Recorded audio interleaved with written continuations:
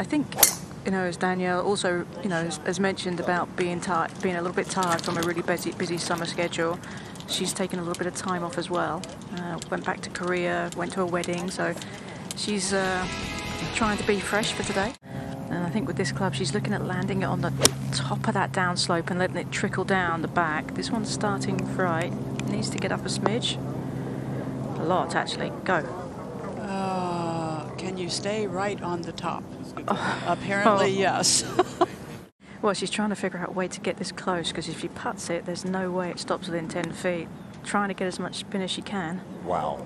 Clean strike, wasn't it? And couldn't have gotten much closer, could she? Nope. That's quite a good play and a pretty brave play. Par putt for Danielle Kang. Would, would this be a two putt?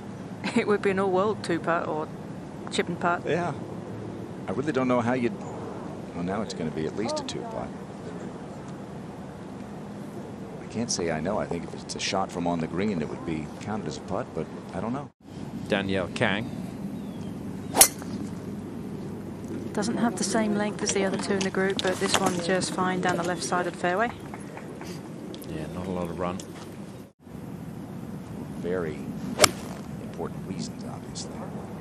Danielle Kang second at 11. That's a controlled eight iron, Tom, from 141. Should release to the hole from there. It's kind of downhill from uh, the front of the green towards that hole location. And just one note on that list that we just had up Laura Davies is a member of the World Golf Hall of Fame. Uh, putting back up the hill.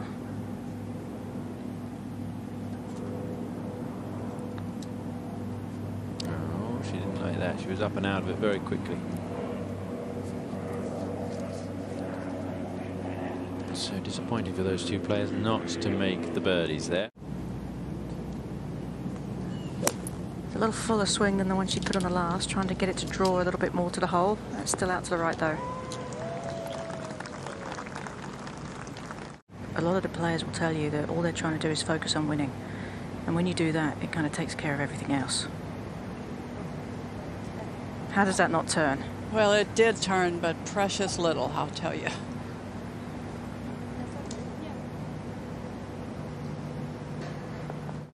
She has 128. The signal's for a 9. I think this has to be just a really little one, though. Yeah, just a controlled swing there. Good shot.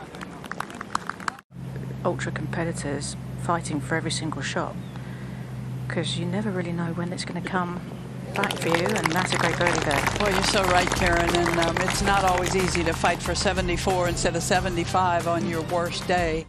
Well, she doesn't carry the same distance that, that a lot of the players do in the field, but she's very tenacious.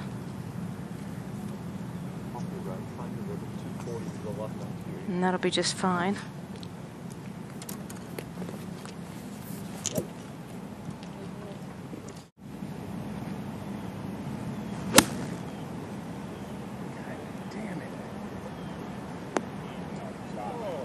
There you go.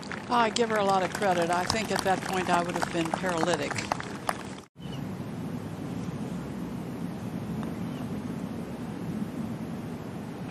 Not for Danielle. Well, all that work uh, just short of the green paid off. with the wind off the left. If you can hit a little draw in here, it should stop a bit quicker.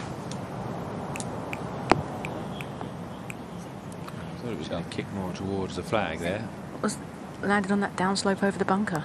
And Danielle Kang to take the solo lead. Well, this is a bit of a speedy one from the back of this green. Yeah, we've seen players struggle with the pace from back here. That's very good for pace. Good defensive putt there. You can't get carried away. Although I think Danielle's plenty long enough to get it to that bunker on the right, 250. This Yep. one is it's nice and straight though, isn't going to have to worry about a thing. The one-handed follow-through, so she must not have caught it exactly the way she wanted, Judy. Something happened there. Sun peeking out here near noon. Danielle Kang, 16. That's an 8 iron from 144, just hanging out to the right a bit. Yeah, pretty good opportunity. This one's got a bit of left movement in it too. She kept still, but You contrast Yuka with Danielle Karen, a player who came out with a lot of fanfare. She had won back-to-back U.S. Women's Amateur Championships, and it took her six years before she won, but she hasn't quit winning since. And we walked 18 holes in less than three hours. And given where we hit a few of them, that was even more amazing, really. Danielle safely away. Well, we do know you guys get on with it.